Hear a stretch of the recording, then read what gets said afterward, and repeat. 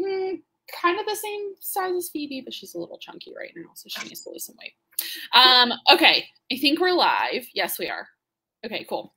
Hello, everybody. Welcome to our next live chat here in the small breed dog training group. Sorry about being late. I had scheduling conflict got all over the place, lost track of time.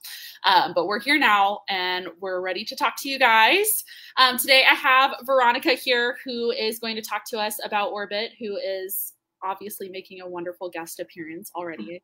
And I love him so much from afar. I've never met him, but I do love him a lot. Um, and so today we're just going to talk about kind of the general topic of how Veronica went about raising Orbit. He turned out to be kind of a unique dog in terms of behavioral support that he needed whenever he grew. Um, and that started, I'm pretty sure, like quickly from day one, right? Like you kind of noticed that he needed a little bit more help than like a normal puppy raising situation. Um, so, to start us out, can you tell us just a little bit about Orbit in general? Yeah, Orbit is a toy fox terrier. Um, and so they're a great breed because it's a mix of like a companion lapdog, like a mm-hmm. toy, and then like terrier, right? Yeah. So, the tenacity yeah. and prey drive. And he's like 21 months old, so he's almost 2 mm-hmm. in November. And he's a funny little dog. You know, he does have a big heart with all of his issues, but he's also extremely like athletic and smart mm-hmm. and quick and, you know, training him is really fun. he looks like a lot of fun to me. Like just from the little clips that you post and stuff, it seems like he just like really enjoys training, which is something that I really want in my next dog. So, um, terriers are not off my list. They're not, you know, I'm not going to make any commitments here where mm. anybody's keeping track, but they're not off my list. Um, so, whenever you initially brought Orbit home as a puppy, did you kind of notice any kind of particular signs that indicated he might need more support as he grew up, other than just like traditional puppy socialization? Let them play with other puppies, let them meet people, and go a bunch of places, right? Um, what were the kind of signs that you noticed from him that he may need a little bit more than that? Well, right away, you know, walking into it, I did know he was going to be a little bit different. He yeah. was noted as a shy puppy, and okay. I, for some reason, have a soft spot for shy puppies. Mm-hmm. They're always my favorite in puppy class, and I'm so drawn to them. And Ben, my late dog, was a shy dog, and I just I have a soft spot for them. So I knew he was going to be a little different and have different needs. I didn't mm-hmm. really know entirely what I was getting into. Yeah. obviously, unfortunately, as you never do. Yeah. reactive, but he was like reactive right away. Like day three, I really saw like barking, snarling, lunging, like this like strong little ball of a 13 week old puppy who was just yeah, so 13 weeks, so yeah. scared and uh-huh. so intense. So like I knew right away that it was gonna be different. And then three days in, like just what mm-hmm. I'd be up against. yeah. Yeah. Okay. So you kind of noticed that, like, did you notice any kind of different behavior from him, like around the house or anything as well, or was it more so just kind of like the the shyness was more than you thought it was going to be? Yeah, around the house. I mean, he um he kind of like had a wall up. He was mm-hmm. a little mm-hmm. bit of a guarded puppy. Um, not terribly, you know, bonding with him has been different, yeah. but you know, he could be um, sometimes like a serious puppy, so not always just like goofy and playful yeah. and floppy. Although he did exhibit a lot of those behaviors. Yeah. It just, you know, I've been I've been around so many puppies that he was, you know, different, just more serious. Yeah. yeah. Yeah, no, I I know exactly what you mean. We have um, a puppy in the household right now, so and he's not even nine weeks, and he's extremely goofy and floppy and doofy. So Yes. That goofiness. Um, so whenever you first got him and you were kind of thinking, you know, I need to get started, obviously, like you are extremely training savvy, like you're a CPDT-KA, you know what you're doing. Um, but whenever you were kind of making your plan for him, did you initially enroll him in any kind of puppy classes? Was that something that you did? And did it go well did it not go so well is that something that you would normally kind of recommend for people who may have like fearful puppies or puppies who are showing signs of reactivity so i did enroll him in puppy class i enrolled yeah. him i knew i was picking him up so you know the timing of it i had to get him into the soonest puppy class because worst case scenario i can drop yeah. out so yeah. i had already enrolled him in class. And then upon meeting him within the first week, Mhm. I decided to take him to class because although he was showing extreme fear of people, um, he loved dogs. I introduced him to a couple adult safe dogs and he Yeah. wasn't guarded around them at all. It was like immediate, like, yes, like this is yeah. fun. These are my best friends. Yeah. born to do. We're gonna be best friends. Um, so just based on that, I I knew that maybe I should try class because Yeah. I could always leave. I could go home. Um, Yeah. you- and it has to be the right class. So um, we went to like a positive reinforcement puppy class that had Mhm. very small classes. Um, I think there was only four other puppies in his class in this like giant space. Yeah. That's Um, so nice. yes. I yeah, I always feel like puppy classes sometimes they get a little bit overwhelming if there's like a bunch of puppies in there and like you don't really get a whole lot of one-on-one time with the trainer so that's super nice sorry I don't mean to interrupt you no, it, it, it was very nice. It was very Yeah. nice, very small. Um, they let me stay in class, which is fantastic. Yeah. did great in class, Yeah. honestly. Like he did a lot of sitting on my lap and observing, which you know that was the only place he was able to do that. He wasn't able to do that in any other environment because he'd just be like too overwhelmed. yeah He played with his toys. He chewed his bones. He got to walk around the room and play with the dogs at the end. So. Mhm. I'd say it was a positive experience for Orby. He would Yeah. react if someone left the room and came back. Um, yeah but luckily, it didn't happen too much with not that, that many people in the room. So yeah not that many people had to like leave and like go to their car, go to the bathroom. So he wasn't reactive too much in class. But there, Okay. there were Good. moments, there were some side eyes. yeah yeah of course i always feel like that too like because i teach um i teach puppy classes now like just kind of on a general rotation um and i always find that like especially of course the first day of group class in general especially a puppy group class like i always set the stage for everybody it's going to be chaos. Like don't expect anything less and don't be embarrassed. But i still always feel like sometimes people are like oh they're being so bad and i'm like they, it's no it's fine. Everything's fine. Like nobody's judging you. This is what we're here for. Um but that's really nice. So you would say probably if if you were seeing those kind of concerns with your puppy like maybe looking for maybe a smaller more low key class if that's something that you wanted to do with them right Yeah, absolutely. Because as long as you go into it with an open mind that your Yeah. puppy is going to be doing what the other puppies are doing, like you're there just to hang out and play Yeah. with your um, all the other puppies are probably going to be doing sit down, stay, look at me, whatever. And Orby only did a small portion of that, Yeah. like within class. That was like Um, not the point right yeah it it wasn't the point. Luckily, I Yeah. know how to teach those things. I think it is hard when you don't know how to teach those things and you're there to learn how to teach your dog those things Mhm. when you're not in puppy school. And there might be trainers who feel like they can't help you and your puppy in this class and they might want to refer you out or do private training, which is up to them because at the end of the Yeah. day, puppy classes are for normal puppies. yeah Yeah. i know what you mean yeah so it's it's kind of one of those things like go into it with an open mind kind of see what they're doing see kind of what their behavior is like are there anything like any kind of behaviors that you would say would be red flags that like maybe your puppy's not learning quality things in a puppy class like they may be too overwhelmed or the environment might be too hard for them where it's something that like oh i may need to consider kind of backing out of this or pivoting to a different style of training Yeah, I mean, if they're not eating, Yeah. if they're not eating any food, if they're not engaging with you, um, if they are sleeping the whole time because Yeah.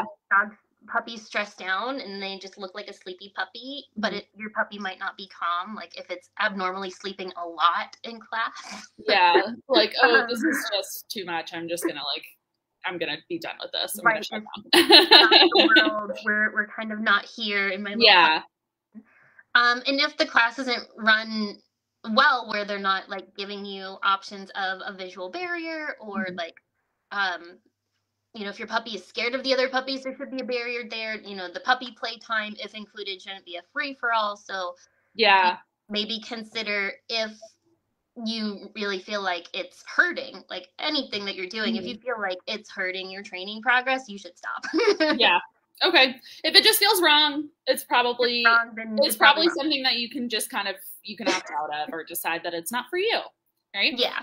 Um, okay, so kind of going back to Orby specifically, uh, there were a couple. I feel like there were a lot of things that you did with him that wasn't necessarily like, oh, I'm just gonna teach him the basics. I'm gonna teach him sit down, stay, all of the things that we normally consider to be like puppy training basic obedience right um he needed more support from you than that because you know he had this other stuff going on with his fear and with his reactivity and everything um so are there kind of a few different training approaches you want to mention that you used with him and you felt like they were really helpful for him as he kind of grew up to help develop his confidence Mhm. Yeah. Yeah. So even teaching him things like sit and down, um, he didn't like following a food lure. He felt like that was very icky. And although he had no problem chewing my Yeah. hand when he was Uh-huh. a puppy, like he had he chewed my hands a lot. When it was in a training setting, he felt very conflicted about Mm. food directly in my hand and like trying to follow it, and he just didn't like it. So okay um the first few things that I taught him, like one was just like find it. Like I need Yeah. you to put your head down when I say this. I need you to know it is like a reinforcement cue. Mhm. And there's just so many uses for it. It's more than just throwing food around arbitrarily. Uh-huh Um, so I knew that he needed to be really, really good at find it, um, and really, really good at kind of like walking into me, like using my body as a lure. Like if I'm backing up, you, you need to be like walking towards come me. with you. Yeah. Okay. Okay. That's really yeah, I like that a lot. Um and like what when would you normally use that with him? Was that more so like if there were if you guys were encountering something that you knew was going to stress him out or was it more so for anything else?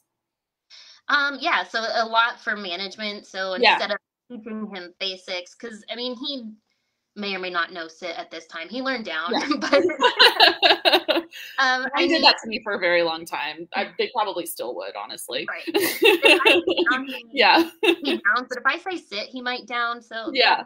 whatever. Fine. So. I needed him to know a few key things that I could use to kind of bond with him, bridge communication, but also that Yeah. was going to be super helpful in the real world as management. So, you know, a U turn, name recognition, find Uh-huh. it, um, picking him up. These were all used when we were avoiding reactions. Okay.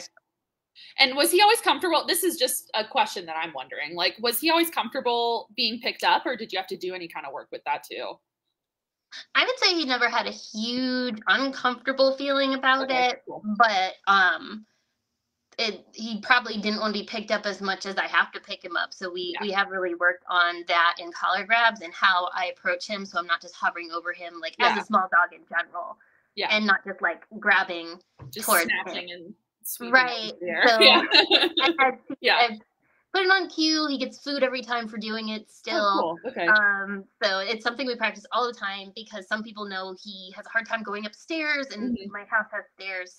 So yeah. being picked up is is part of his normal life. I will Okay. say that there was a time where on walks specifically, if I Mhm. picked him up to uh, manage him, he might avoid me for the rest of the walk. So we Yeah, had to put okay. in a lot of work of him like trusting me or me even being on his radar, like Yeah. and not just holding the leash because that was in the first few months of his life a work all on its own where Mm-hmm. there was quite a few walks where my friend was doing all the training. He was looking Yeah. to them. They were doling out treats. I was holding the leash and he might look back at me and I could give him a treat, but it, it was really hard to even be on his periphery. Yeah. Okay. That's really interesting. Like, that's a very unique approach to that, too, is just being like, I'm going to have somebody else handle him for a little bit. Like, that's really smart, though. I really like that. Um, okay. So, next question that we have for you was it only training that you feel like helped him, or did you support him in other ways that you kind of feel are helpful? Which I feel like kind of goes off of what we've already started to touch on, like, you know, just building up these management tactics and everything. Um, and I know some people kind of have a little bit of a blurred line between like what's management and what's training, you know, because they, you know, cross over so much and every dog is learning at any opportunity that you're presenting them with any of these situations. Um, but is there any other stuff that you did that you don't feel is like, oh, I'm going to teach him this like one, two, three step behavior, but you feel like it helped him a lot whenever it came to helping grow his confidence and his relationship to you? Yeah, I would say is the the non-training things that we've been able to do that Yeah. have been integral to the process and that I wouldn't have been able to have progress without. And one of them is Mhm. I put him on medication right away. Yeah. So- okay. At five and a half months old, he was put on medication and we started trialing medications. I don't feel like we would have made any progress Yeah. without medication because his brain just was not okay and Yeah. he was immediately over threshold you know life was an over threshold moment for him for a while and uh, there was there was no training there's only management and even management we were just scraping by so Yeah. um, medication Huge advocate one. for it. Yeah. one of one. mine is on meds too. So, yep. and then um, helper dogs. He is a different dog when he's around helper dogs. Um, almost every time we go anywhere outside of my yard, he's with Mhm. another dog, and um, he just has more confidence. And I know surprisingly a lot of adult stable dogs who don't mind that Orbit was a small dog, a loud Yeah. dog, rude. yeah, of course. All the things. All of Um, is that like, I mean, obviously that's like really wonderful that you have all of those people as a resource. Is that something that, like, is there a general kind of list that you look for whenever you're looking for a helper dog? Is there anything like in particular that you would say is probably not good for somebody who wants to test if their like social dog would do better with another dog whenever they're taking him out and about? Yeah, so you need a dog who's maybe non-reactive themselves. Yeah. Although Orbit's main dog that he hangs out with can be reactive, but she's put a lot of work into it where Mhm. I'd say it's mostly resolved.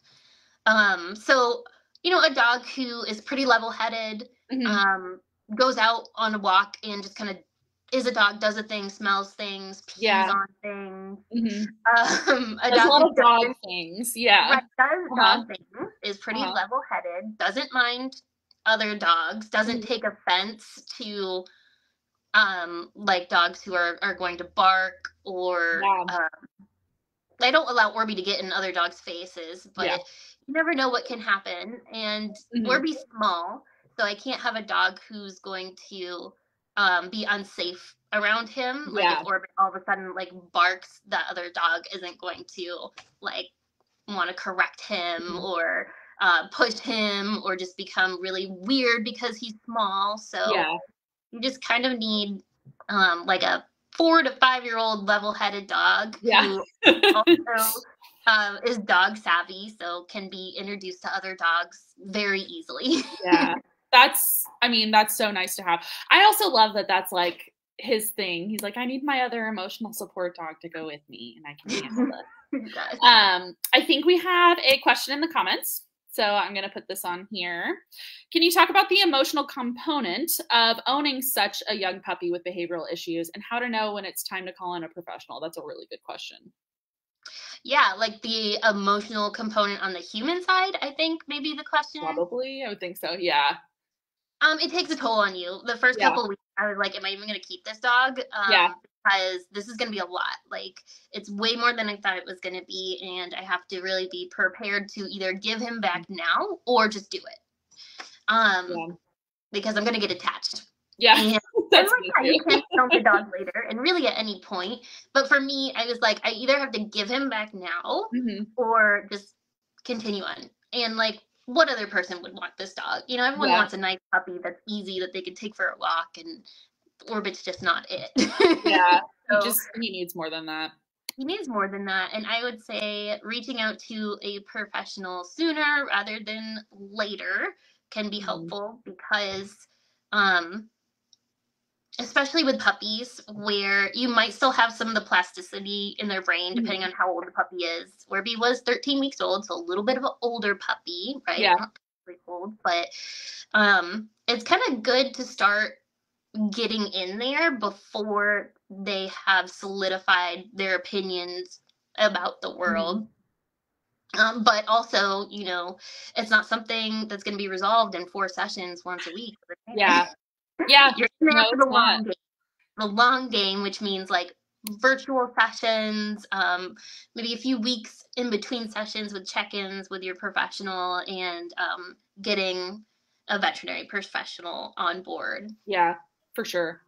Um, and I would even say like if you're even kind of thinking about that of like oh well maybe you know maybe i need to be calling a professional in here like there's not really a whole lot of harm in doing it if you can right? Because i know it's it can be expensive it can be difficult to find a good one but a good quality professional like if you're a dog savvy person and they think that you're doing a good job with your dog like they're going to tell you that you know and it'll at least be a bigger, you know, relief for you to be like, okay, well, at least I know I'm on the right track with this and I'm kind of like working towards where I'm supposed to be going, you know? So I always think like it doesn't hurt, you know, it never really hurts. Even if you're like, I'm not sure if this issue is concerning enough at all to be hiring a trainer for, like, you know, catch it on the front end, catch it whenever it's not a big deal. And then don't wait for it to be a big deal and for you to have like tried a bunch of different things and potentially made it worse even by accident. Absolutely. Um, yeah, but like a good pro is going to tell you if you're on the right track. So that's always mm-hmm. nice to have that reassurance. Um, okay, so next question that I have for you on my list. So, did you ever notice that his needs changed as he grew from a puppy to an adolescent? I know he's a little bit older now, and we're kind of out of that puppyhood stage, and he's still a young adult, but he's not old yet. But um, just while you were kind of seeing that developmental change in him, I know a lot of us see whenever we have like really young puppies growing into adolescence, there's a lot of kind of somewhat normal behavior changes. Was there anything that you did in particular for him or anything that he needed extra as he kind of went from puppyhood into adolescence? I will say the one good thing about Orby is he's been the same since I've oh, gotten great. him. Fabulous. There was no surprises because he was already a reactive dog. He already mm-hmm. had feelings that he was going to express loudly about yeah. the world. It's not like he was a quiet puppy that all of a sudden was yeah. going to, you know what, I'm going to say something about this now knew. yeah. is that he has literally been the same dog mm-hmm. this whole time. So no surprises in adolescence. He's just he's been the same Orby. Yeah. Well, I mean, honestly, that's kind of a nice thing because you're like, okay, right. well, I know what I've got, and this is just how it's going to be, and we can just keep going from here without any weird adolescent stuff getting mm-hmm. in the way. Exactly. um, have you ever noticed, and this is something I feel like I've noted, thankfully, we've we're kind of in a decent place now but of course you know there's always something that happens.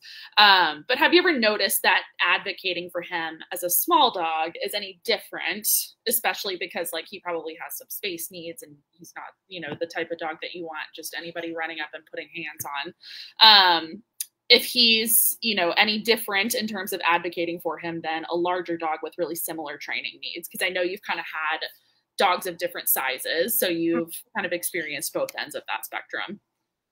Yeah, absolutely. So Orby's bubble is huge. So yeah. You know, if you see me in Orby out in the world, we're already turning around, first of all. Yeah. But you know, Orby, he does bring out a certain like nostalgia feeling in a certain mm-hmm. group of people, usually older, who are like, "Oh, I've had a terrier or I've had a Jack Russell." Yeah. But like he, there's a certain type of people that like him and are drawn mm-hmm. to him. Um, and and luckily, so yeah, um, luckily, yeah. whenever we are out with people or we're out in the world, we're out with a friend mm-hmm. and um, a social dog who, and they just like get in between us, and you know they're like, oh, that one's not friendly. You can say hi to this dog. Mm-hmm. Their dogs don't really want to be pet, but like they can do tricks. I don't they know. Can, yeah, handle it. Yeah, like Orby. So me and Orby can kind of sit back mm-hmm. and you know just let them know that he's he's not a friendly dog and he doesn't yeah. give off friendly vibes. He's not like all wiggly and pulling towards people. Mm-hmm. like he's it appears standoffish. Yeah. So um luckily no one is trying to like reach for him or do or like pick him up or do anything weird because he is small. Yeah. That's that's super nice um, do you ever notice that anybody ever makes any kind of like comments towards you or anything, or do they kind of? I feel like you probably you probably do a pretty good job of like advocating for him. So I don't know if you have this many run-ins or not. I used to be a really bad people pleaser. And so like even if Phoebe's at the end of the leash, like she was barking, she was going feral at them or whatever it was, I was like, I was like, ah, you know, sorry, like not you know, stepping up like I needed to. Um, do you ever get comments like that from people at all? I mean, I've gotten comments from people Yeah. that are gonna vary between like some people are gonna look at Orby and think he's just a typical unsocialized small dog because Yeah. um I didn't do him justice or or or whatever people kind of assume about Mhm. small dogs. Um and then there are like a lot of people who seem to think that terriers are not friendly anyways, which is Oh, weird. really? Like, yeah, like, interesting. he doesn't like people, and they're like, "Well, terriers don't really like people," and I'm like, "Okay." Um, so there are a lot well, not people, true, but like I guess this helps my case right now. So a lot of people who just like Yeah. excuse his behavior because he's a small terrier, Uh-huh. and, and luckily these days they're not seeing him like yell at people. They're, you know, they're if he's yelling, it's usually at a squirrel, and that is funny. So Yeah. you know, I mean, people can laugh at that all they want. yeah, like it's kind of what he's supposed to do. So,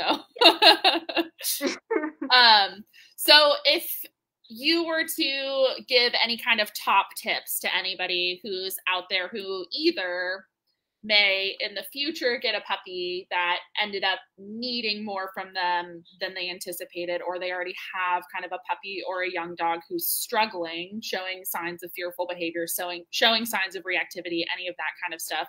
Um, what would you say to them as just like top general advice?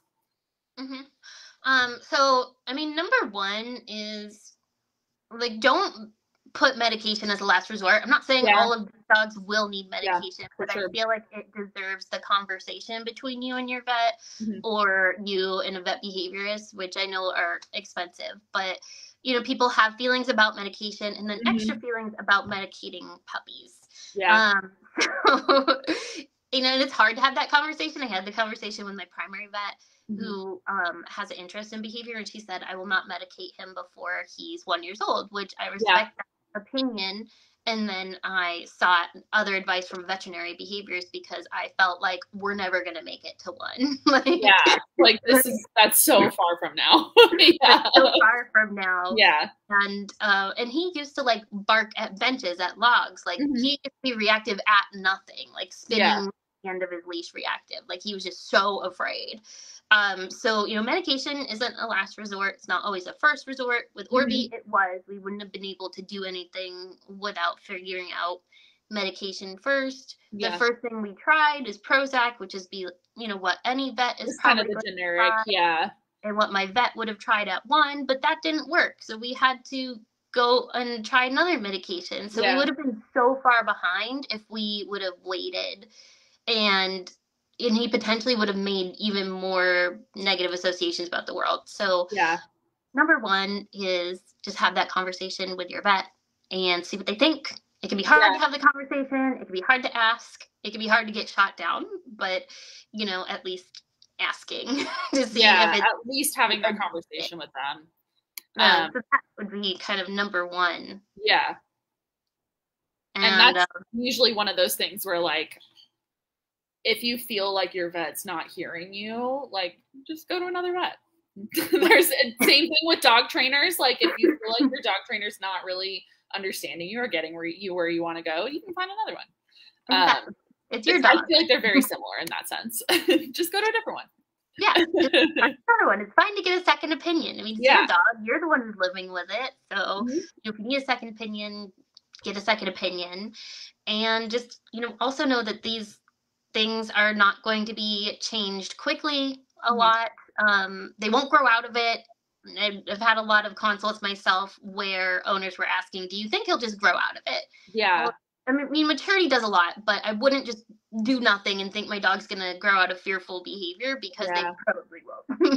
Yeah, it could just get so much worse. I actually I hear that a lot. I'm glad you brought that up. I hear that a lot from a lot of people where they're like, "Oh, well, you know, I wasn't sure." And of course, like it makes sense and you're like you're just thinking, "Oh, you know, they're just they're very little. This is something that, you know, they don't know a whole lot about the world. So once they kind of see that the world is safe, they're going to feel better about it." But it's, you know, sometimes it's deeper than that. Sometimes it's not just, "Oh, we need more experience." It's it's who they are. Right? Yeah. Your puppy probably doesn't need to meet people if it's Mhm. fearful of people. That'd be the other thing. Like, don't Yeah. Your puppy to go say hi. Don't have strangers be giving them treats because the dog's gonna be conflicted. You'll see a lot of stretchy back legs, or you'll just see more reactive behavior. Luckily, I, you know, knew to never put Orby in those situations. He would have Mhm. been so much worse if he would have been pressured into situations and Yeah. learned that most situations with people are not very pressury, you know, because I'm not telling him, oh, it's okay, go say hi, look, see, the person is safe. I'm just like, well, we're going this way. you can turn Yeah. right around. You don't You have to deal with it if it's scary. We're, Yeah. gonna, we're just going to move away because Yeah. I want him to know that he can move away because he wants to like move towards. Like his Mhm. initial reaction is to charge people. Yeah. So I don't want him going up to people. Yeah. Like not necessarily desirable. So let's do the opposite of that. Yeah. um okay so that's something you normally don't recommend right? Like if if you have a dog and you're like oh they're afraid of people i'll just give everybody a bunch of treats and have them feed the treats to the puppy um without and obviously of course with the caveat of every single dog's an individual and every single dog is not going to respond to the same process uh, do you have anything that you would say just kind of generally that you would suggest dog owners do instead of that? So instead of the mindset being like get them closer to the person, get them to interact with the person or the thing that's scaring them, whatever it is, right? Like just have them get kind of in its face and see that it's not scary. What would you say to do instead of that? Just kind of generally, obviously. Yeah. And, you know, distance is just gonna be probably better and, Yeah. and not like initially have the end result that you want interaction. I mean, Mhm. some training plans, the end result is interaction for certain things. But Yeah. In most cases, when you're out there walking your dog, any dog, a normal Mhm. dog, um, a non-reactive dog, you're not saying hi to everyone. Like you're not, you know, saying hi. Like people are just passing. Your dog is passing, and that's kind of what you want the norm to Mhm. be. That we're not out here to say hi to everything or Yeah. tell to f off. Yeah. It's just kind of like this is just part of the environment that we're walking past and it's not a big deal. It's not really any of your business. Right. That's kind of what I like. I like to think of it. It's like it's not your business. It's And I big literally have Yeah. a cue for Orby that says Uh-huh. that I say that's none of your business. Oh, do you really? I love that. I like it a lot because it's just like this isn't this doesn't concern you, you know. Right. And most things do not concern Orby. Ninety nine percent of things do not concern him when he's in the world. So Yeah. just kind of showing your dog, no matter who your dog is, that that like that there's most of the things that have nothing to do with you. Yeah. Yeah, for sure. Um, so you're kind of thinking more so I want distance, I want just kind of a neutral response. I don't want my dog necessarily having to think about the pressure of directly interacting with the other dog. It's more so I just want this to become part of the environment. It's something that you can just kind of dismiss and move on from. Yeah, because Yeah. if they're putting put in a lot of pressury situations, Yeah. then um, they'll start to predict it. One thing with Orby is that um, unfortunately I've walked him on some narrow pathways, which Yeah. is not good for dogs.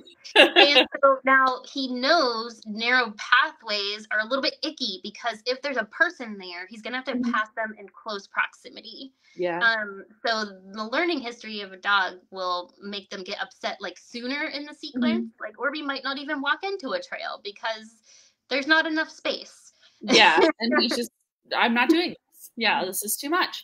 Um actually that makes me think of another question. Um it's not on my list but i'm just thinking about it now. Do you have any kind of suggestions of ways to kind of find obviously people again this is one of those things where it varies on the individual like your training plan what your dog can handle what your dog can't handle is going to be extremely individualistic depending on the dog. But if you're generally taking a dog out and you kind of want to get them either their walks you want to get them their exercise whatever it is are there general things that you look for whenever you're trying to find a place where you can walk orbit that is more so going to be like a little bit safer in terms of not being super trigger heavy or like have those tight spaces are there like other kind of non-conventional places you normally take him His favorite place is a college campus. Um, Yeah. So it's it's so wide open, and the possibilities are endless, right? Like Yeah. he could go in any direction he chooses, and he'll even so seek nice. out like the wider, oh, like campus is wide, but he'll seek out the wider parts of campus. Yeah. to, like in a big clearing. Um, and so places that are very, very wide open, not Mhm. just on a designated path, um, are, are going to be helpful. So, like a college campus, hmm when like off times or very early because college kids sleep in. Yeah. Um, That's true. That's nice to have. or a pet friendly cemetery. So Uh-huh. places that are very, very, very wide open. Some parks are very wide open. Um, you know, like parks where maybe they have soccer Mhm. sometimes or or baseball, but it's not a time when they're doing that. So Yeah. probably places that are more wide open where your dog can see like you're not trapped here. You're on a 6 foot leash, but but there's so many options right Mm-hmm. Yeah. now. Like there's so much space we can take as we need it. Yeah. That's really nice. I like that. Um, and so you're not normally the person to be like, I'm going to go to my favorite walking spot or one of the more populated walking paths or like necessarily around your neighborhood. You're looking for wide open spaces, quiet spaces, places where you can make as much room as you need. Um, Yeah. I really like that a lot. Uh, so that actually makes me think about like some of the places I like to take mine as if I have more open space, I feel a lot more comfortable kind of like letting them get farther away from me because I'm like, oh, I can see so many things coming from so far away that I can like have a plan in place way before it gets to a point where we're even going to be interacting at all. And like usually I'm the one that sees it before they do, which is even better. So I really like that a lot. Yeah. Um, any other places that you normally suggest for walking, or is it more so just look for big, wide open space, places where you can kind of make space for yourself as you need it? big wide open spaces. Yeah. Yeah. It's gonna Okay. be dependent on the dog, you know. Yeah. Orby, I would love to walk Orby in the woods, even a woods Yeah. with a good clearing, but he thinks a college campus a little, like the yeah. most fun place. I love that though. And yeah, I'd love to take him to the woods, and Yeah. he he'll go with other dogs and feel confident. Um, but you know, passing people is Mhm. hard even on wider trails. So Yeah. I mean, he really likes to be on a college campus. yeah, that's so nice that you have that. So kind of pick pick a spot that you know is kind of safe and trusted, and just let that be where they can kind of let loose. Um, I've even noticed too, like sometimes I'll have people who have or like clients who have dogs that are kind of fearful or maybe reactive or have certain things that they're not really okay with they'll almost tell me like sometimes if i bring them to this really busy place so like say they're really suspicious of people they don't know like seeing people they don't know out on walks if i bring them to you know which in atlanta the beltline is this really populated walking path right? I bring them to the beltline there's hundreds of people out and they're totally fine and then I am walking them in the neighborhood or I'm walking them in a park and somebody suddenly appears in the distance and they're not fine. And like I would even argue your dog probably wasn't fine at the belt line. There was probably just so much happening that they couldn't really focus on one specific thing to have that big reaction to. But if you kind of start talking about their body language, how they were responding to things that they normally respond to, if they were taking food, all that kind of stuff, you kind of see a little bit of a different picture. Um, Absolutely. I think did that ever a- happen to you at all or Well, it's funny you mention that because I do feel like Yeah. there, there's obviously a difference between like flooding your dog and a Yeah. dog really bothered by sudden environmental contrast, whereas Mhm. there's constantly things in the environment and it's not changing that maybe they do feel better yeah or can adjust, you Mhm. know. Um, I do notice that with Orby with um like when I took him to Fast Cat, like there's yeah dogs everywhere and he loves dogs he's very reactive to dogs more reactive to dogs than people because he just really likes them Yeah. but because there's these dogs everywhere and they weren't kind of like popping out like he did Mhm. kind of settle down a Yeah. little bit easier and i didn't feel like he was flooded with it you know it was just like oh okay well nothing's really popping out and changing it's yeah like so it's all just this is just my environment that i'm in now people but you really have to be careful Yeah. with that oh yeah for sure. Like you kind of have to you're you have to make sure you're not teetering a line into something else but Mhm. um okay i know i'm i'm asking you more questions than we talked about but one more question that i have. Do you notice anything uh different with him? Because i know you are starting to get him into kind of some different sports and things like that. Is there anything different with him that you do whenever you're getting him into sports that you would say maybe like a more social or a less fearful dog wouldn't need or are you kind of noticing at this point that he's you know, kind of okay. He's a little bit more, I don't like to use the word, but like for lack of a better word, quote unquote normal, right? um, so you know, Orby, he he needs like a distraction, probably. Yeah. Know, it's more like management in the form of like you know how to heel, you know how Mhm. to put your blinders on and look at me, you know how Yeah. to play tug with this toy um, to Mhm. kind of get us through this environment instead of doing nothing. Like if I had a yeah, Uh, just like letting him re- Yeah. Just walk them onto the fast cat field. You know, Yeah. you wouldn't have to be distracting them with chicken nuggets or their Mhm. favorite ball. Yeah. so Your favorite thing. that because it's not a training scenario we're you know Mhm. already there it's just right into management mode and stuff that we've practiced before Yeah. but you know much more management than i would put on any other dog Yeah. So just kind of keeping him engaged with you and everything. And Mm. key being you've practiced the management a lot in easier context before you needed it in that kind of context. yeah Yeah. yeah, absolutely and his go-to uh, right now is when he's really overwhelmed like he Mhm. will just kind of heel and look at me like he Oh, walks that. into curbs because he's looking up at me and he's doing it and he's eating treats Yeah. and practice like the one two three pattern game and Uh-huh.